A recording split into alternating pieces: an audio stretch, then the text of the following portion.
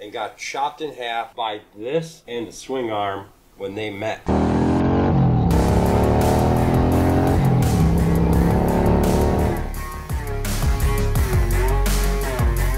Alright, so here is the part that got damaged. This is the rear brake line off the ABS unit. This sits on the motorcycle just like this. And see, this part here was somehow turned down like this on caliper. Now it naturally wants to sit like this, so I'm not sure why it turned. I didn't loosen it. We need to get this replaced today.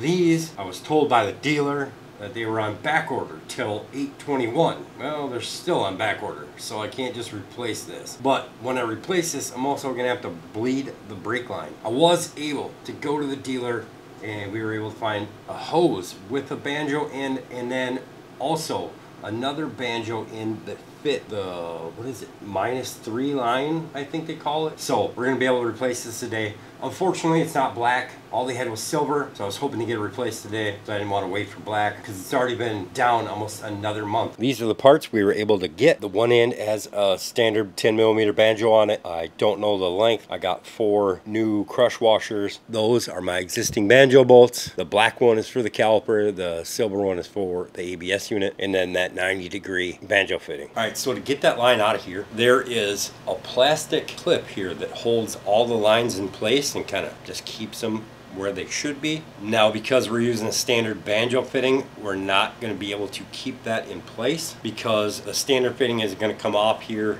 run this way, down, loop around, and then come back up to the brake caliper. All right, so we're gonna get this put on here, on top like this. These should fit with your existing lines if you're just replacing one. Remember I said that the silver, silver banjo goes on the ABS. Now we don't want to tighten this right now because we got to kind of train this line and we got to run it through here. It's going to be hard for me to get a shot for you guys. So we're going to have to run this line about like this and hopefully we can get this line to train itself. All right, for the caliper, we, like I said, we got the black banjo. These both should be 10 millimeter banjos. We'll see how we can run this. I may have to flip this banjo over so I'm gonna put this on here quickly, see what we can get out of this thing. Because we don't want, we don't want this line getting close to rubbing the tire and we need to get it in the holders so it stays in place. But we don't want it over far enough where it can ever end up getting cut here again. Okay, so what I had to do, we're running this straight out. It should not hit this bar, should not get pinched in between here, and then is running underneath the ABS back up and around and I had to put the top 180 degrees to get it to want to stay here instead of flopping out here into the into the cover. Now I can get everything tight here. Sorry, uh, this is a quick and dirty job. I don't have torque specs for you. There is the line around there. You can see it run, make a loop, and come back around up to the top. Everything is tight. Now it's time to get this bled.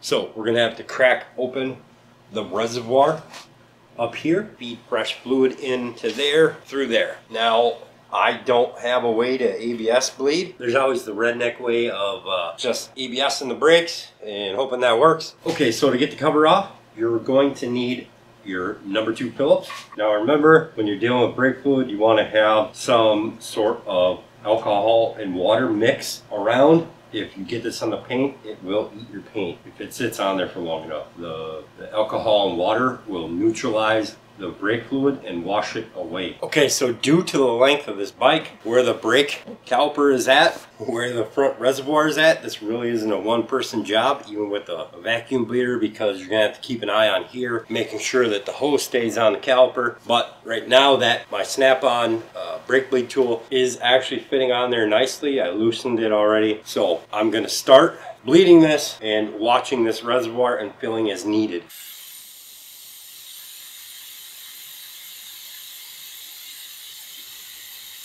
Now my brake fluid is long past two years, so I'm going to try to flush as much of this out as I can. Now we are still moving fluid. I can see it in the reservoir. Make sure that you do not let air enter that master cylinder or you're just fighting yourself. Now with it still going, you want to shut this bleeder bolt. All right, so we're done. Dirty, all I got to do is put things back and put everything back on the bike and we're back on the road again. Now, important part of this is you do want to check for leaks anywhere. Make sure that those little crush washers didn't get gouged or damaged in the process because that'll cause a leak. But that's it. Got the line installed. We got the brakes bled. We should be good to go. But you got to remember it's going through the ABS system. So if we have a problem with it, or we have air trapped in the ABS, we may need to take it to the dealer to have them ABS brake bleed. Super simple on the DT2, but it's going to cost you a bit of money. Now, obviously you can see I got brake fluid on some of the painted surfaces, which was accident. So I'll wash it off with my alcohol water mix. You want to try to get it off there as soon as possible so it doesn't have a chance to eat at the paint. Yes, even powder coat. All right, guys. Thanks for watching. And remember, a V Twinkie, we build it to ride.